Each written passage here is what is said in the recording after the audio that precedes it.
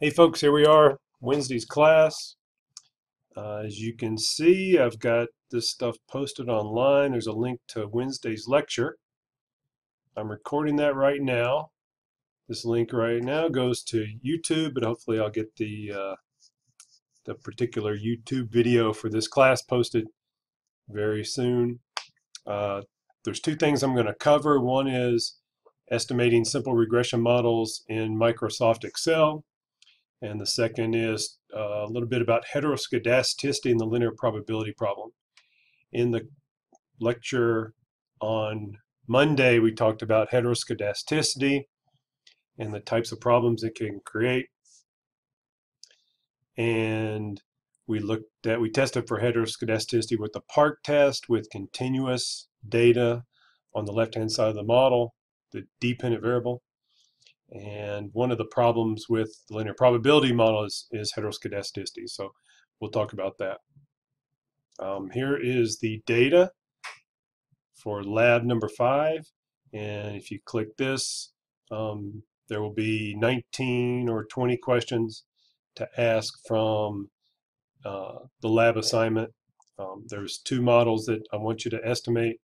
One is the continuous model with BSG expenditures, and the second is the linear probability model for the demand um, for return visitation with various fee amounts.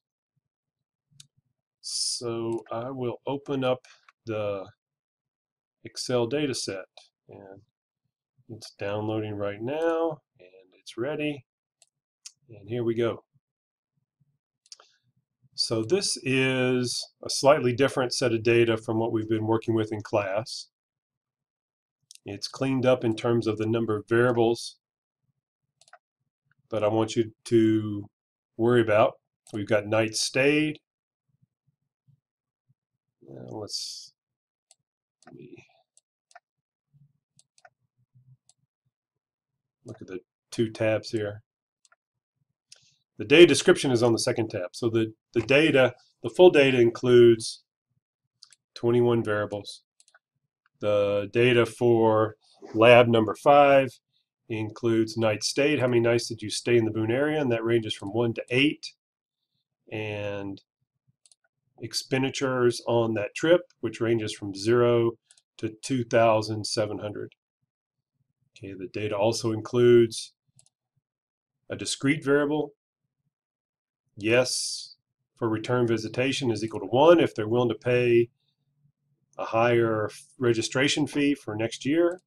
0 means that they would not pay that registration fee, and 1 means that they would pay that registration fee. And the registration fee ranges from 60 to 100. 60 is the registration fee for the previous year, and that goes up in $10 increments up to 100. So that's the data that you see. This ID variable is just a randomly assigned number to the individuals. Uh, some of these are same are the same, and that's not a worry. All I did was randomly assign ID numbers and sorted those so that we're randomly selecting uh, 50 observations out of the 84 that we've been working with in class. So this is a subsample of the same data that we've been working with in class the results that you get should look very similar, except the numbers are going to be different. And when I say the results should look very similar, that means that expenditures should be positively, positively related, related to the number of nights stayed, and the probability of return visitation should be negatively related to the fee. All right, so let's run some simple regression models. So in Microsoft Excel, if you click on Data, and then click Data Analysis, you'll get the Data Analysis box popping up, and we've got a bunch of alternatives. And if you click Regression, so I've got I've got the input for the dependent and independent variable already populated because I've been playing around with Excel this morning. Let's clean all that up. And so the input, the y range, that is your dependent variable. So the first set of questions in the lab assignment is going to ask you to estimate the model that explains blood, sweat, and gears expenditures as a function of night state. So the y range is going to be blood, sweat, and gears expenditures, and you're going to choose all the way down to the bottom of the column. Now for this exercise today, I think we'll stop at 40 observations. And so the models that you run are going to be identical to what I'm running, except you're going to include all of the data. I just want my answers here to be different from the ones that you're asked about in the lab assignment. So once you select the dependent variable, click on the little uh, blue box. I'm not sure what that's supposed to mean, but click on that and you get back to the regression uh, box. The input X range, this is your independent variable. And so you've been asked to estimate the effect of number of nights on blood, sweat, and gears expenditures. So I'm going to choose the same number, B1 to B41, 40 cases of data, in your lab assignment, go all the way down to the bottom of that column. Okay, so up here in my Y range and X range, I have chosen the same number of observations for those two variables, C1 to C41 and B1 to B41. If you make a mistake and choose one fewer observation for the independent variable or for the dependent variable and click OK, you're going to get an error announcement or an error box popping up. You just click OK. You can go back and see what you did wrong. You say, oh, well, I have 40 observations for my dependent variable and only 39 for my independent. So you can edit that up top. Click OK, and I still have a problem. Oh dear, what is it? It is that I did not click labels. So C1 and B1 contain these two variable labels. So just click labels and click OK and that should be enough to get the answers from your regression output or get the regression output for your lab answers. Okay, so I like to immediately make these columns a little bit better, bigger so I can see everything. And we've got, if you look at the lecture notes from chapter 12, you've got some annotated Excel output. I'll just talk through that without writing on this.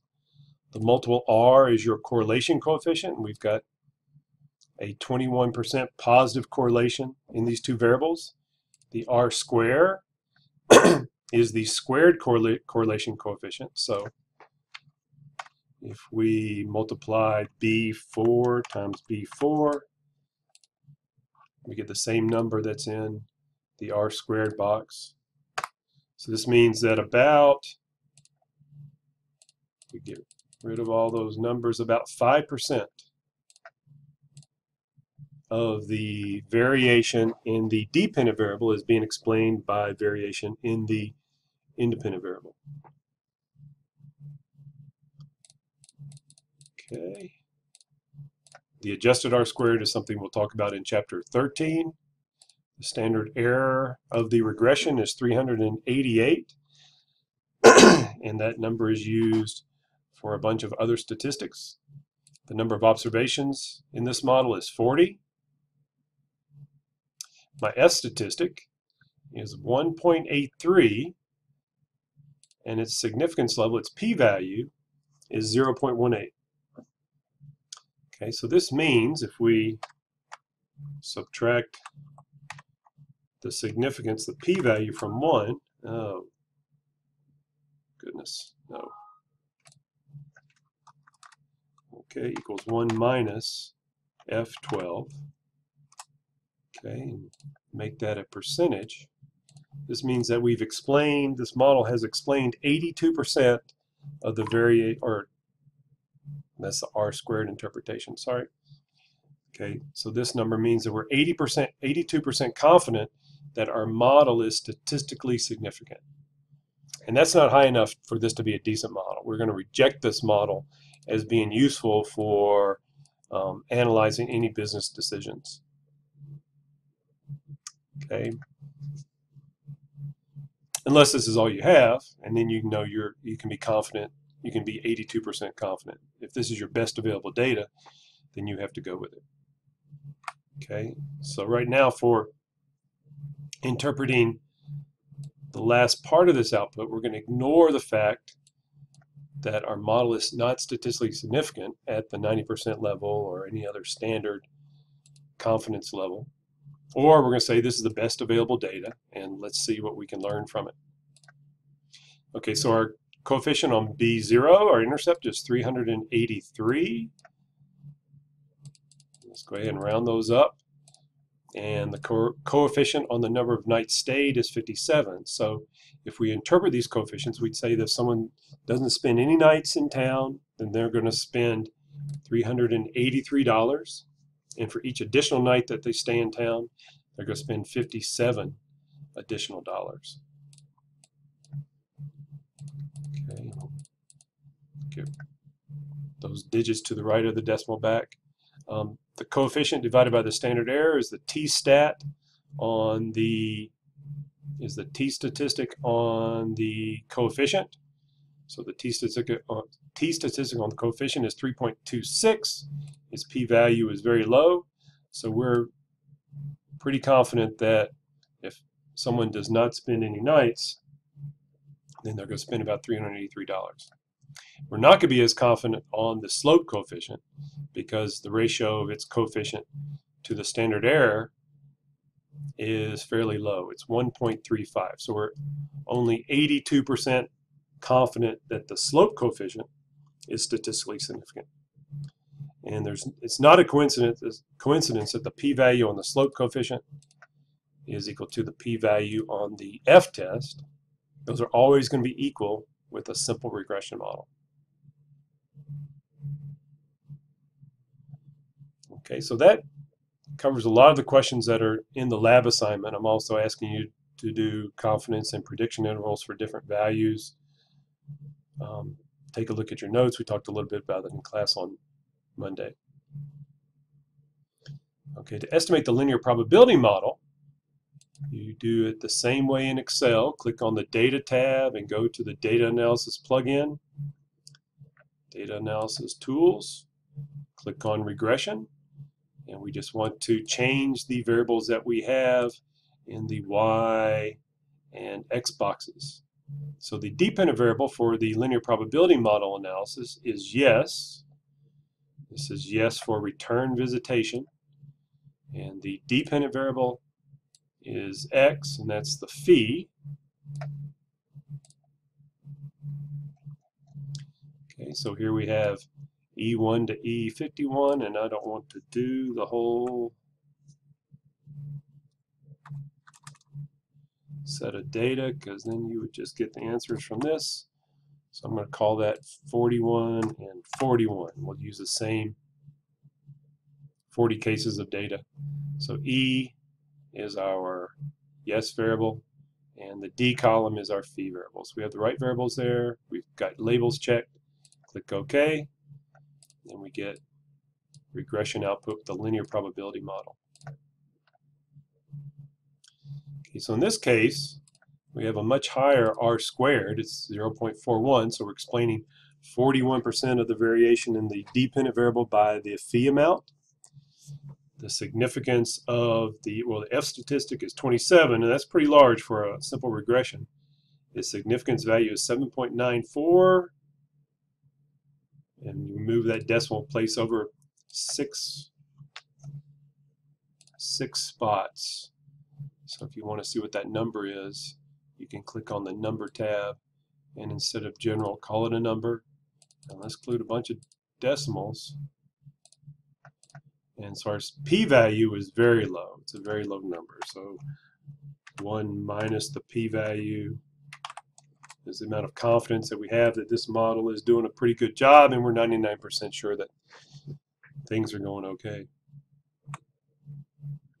So the constant is 2.26. One problem with the linear probability model is that we're forecasting, is that when we forecast outside the range of experience or even when we don't, sometimes the predicted probabilities are going to be beyond the zero one range of data. And so that's the case here. The probability when the fee is equal to 0 is 2.26 or 226%. And so that number is just nonsense and we, we're going to want to ignore that. So for every dollar that the fee increases, our slope coefficient tells us that the probability that the visitor is going to return falls by about 2.2%. If you change that number to a percentage, percent style, and add a couple decimals, so every dollar increase, the probability falls by 2.2% or 2.2. It's really not a percentage, but that's the way we think about things a lot. Let's make it go back to a number. Okay, so the ratio of the coefficients to their standard errors for both these variables is very large. The t-stats are significantly or quite a bit above 2. The p-values are very low. And we have fairly tight 95% confidence intervals. So this model is doing a pretty good job. Okay, the problem with the linear probability model, in addition to the fact that the range of predicted probabilities can extend beyond the 0, 1 interval is heteroscedasticity. Now I want to open up a web page that I worked on a long time ago, and this is about circa 1999. So about 16 years ago, I put this together at East Carolina University, and um, it's traveled with me to App State University, but I haven't done much to it um, beyond that. This is an introduction to logistic regression, which is an alternative to the linear probability model. So this presentation starts out with nuts and bolts. You know, why use logistic regression? Okay, and first, the first reason, just like the first reason for using the linear probability model is that a lot of um, dependent variables or important research topics are coded 0, 1.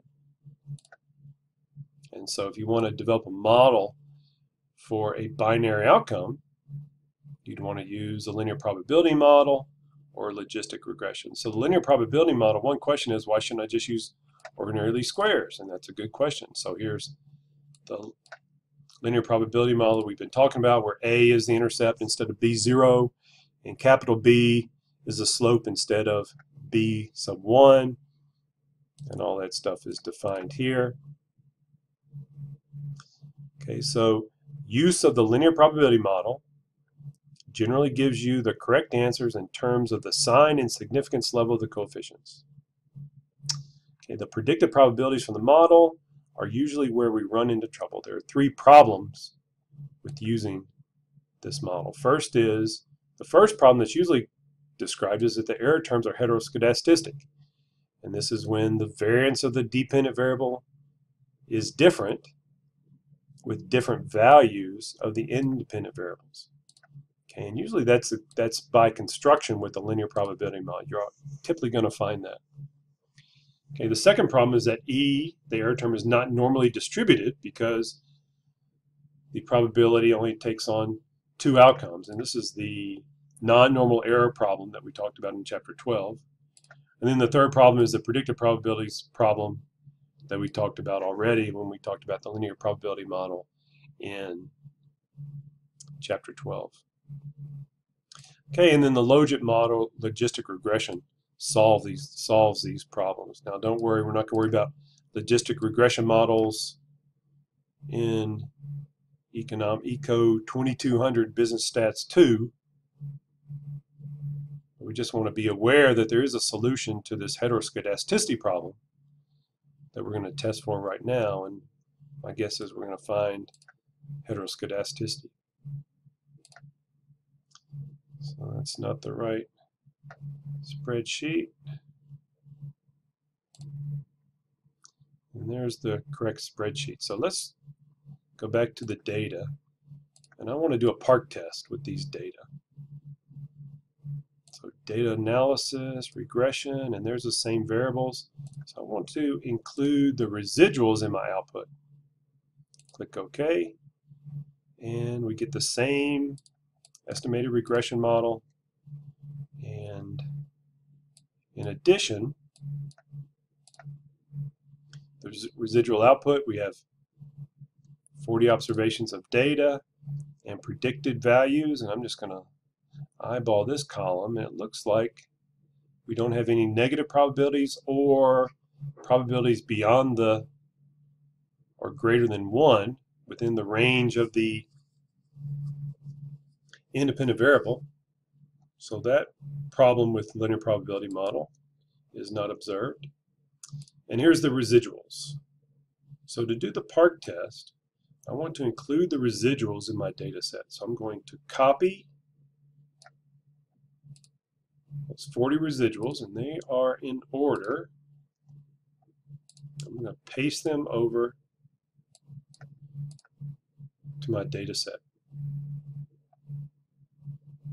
So the park test is a regression of the natural log of the squared residuals. So I'm going to name, I'm going to create a variable called the log of e squared, call it lne2.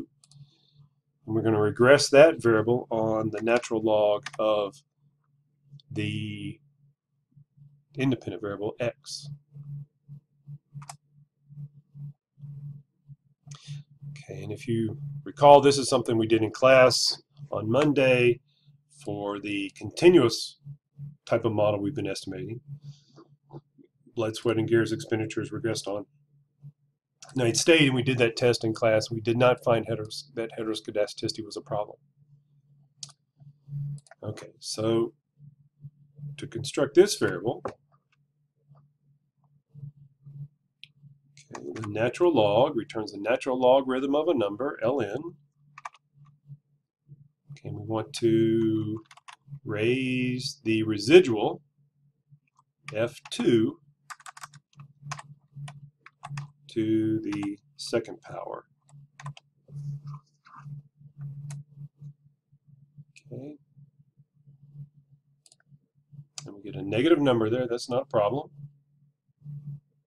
because the squared residuals are going to be lower than the residuals themselves. They're all um, can be less than 1, and so the natural log of any number less than 1 is going to be less than 0. So the natural log of x okay, equals ln d2. And then we will, you can copy that by dragging it all the way down to the 40th case of data. So the park test, we want to see if the residuals measured as log of e squared depend on the dependent, the independent variable log of x. So let's just run a regression analysis. Click on the data tab, click on data analysis, regression. So in this case, our y range is the log of e squared. Our x range is the log of x.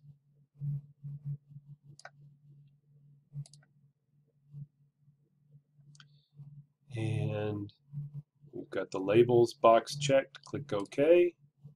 And this regression output gives us our results from the park test. And the key variable that we want to look at is the or the key statistic is the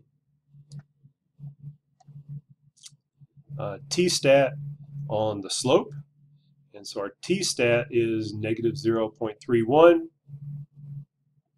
And so it is uh, less than the critical value of 1.96. The p-value is 0.76. And so these two numbers tell us we don't need to worry about uh, heteroscedasticity in these in the linear probability model.